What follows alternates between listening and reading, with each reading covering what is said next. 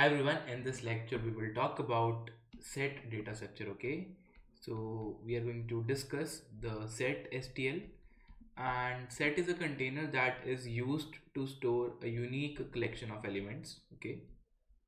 And in STL you again have uh, something called a set and you also have something called unordered set, okay?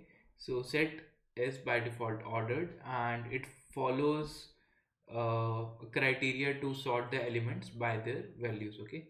So it can store unique elements. For example if you have uh, array which contains let's say 4 5 uh, 1 1 1 2 3 okay? Suppose these are the elements and let's say you insert these elements inside a set then it will store only unique elements let's say 1 2 3 4 and 5 and this can be useful in some problems where maybe you want to re uh, remove redundant elements.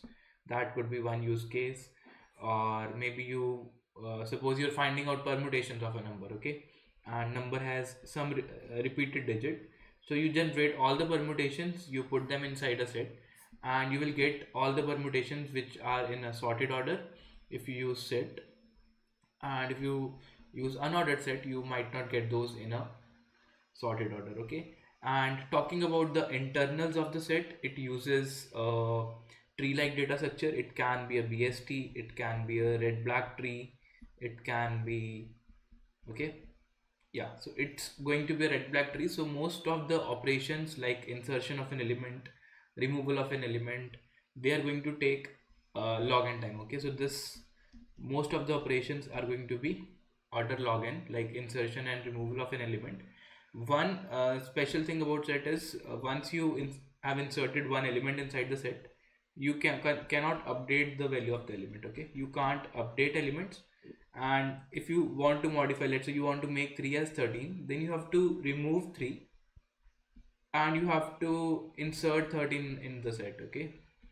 So you have to do these two operations if you want to update some value in the set. So update is not allowed on a set so you can uh, insert elements you can iterate over elements you can erase elements you can check if an element is present or not. So this is about set. And now we will look at implementation of the set stl okay? So let's begin with that. Okay so let's discuss some basic functions of the set data structure. So let's say hash include set. And here i create one array and let's say that contains some elements 10 20 11 uh, 9 8 8 uh, 11 10 okay? Let's say number of element is this upon size of int. And what i am interested is in uh, i want to uh, insert these elements in a set okay? So i will make a set of integers okay? And let's call it s and let's iterate over all the elements from 0 to i less than n i plus plus. And then I can use the insert method provided by set okay? S dot insert. And here I can write array of i okay? So let's try to print uh, iterate over the set and print all the elements of the set okay? So for set int iterator okay so set has its own iterator that can be written like this or you can use the auto keyword. Uh, sorry this should be like this. And let's say this uh, goes from s dot begin till s it is not equal to s dot end. And here I can do it plus plus c out star of it okay so this should give me what all elements are present in the set. And by default these elements are ordered. And uh, let's see the output. So ideally we should get all these elements in the sorted order okay? We can remove this. And you can see 8 9 10 11 and 20 so two things to note here. First set is storing unique elements. And set is also ordered okay? Elements are ordered. That's how this works okay? So let's also try to erase some element. Let's say s dot erase.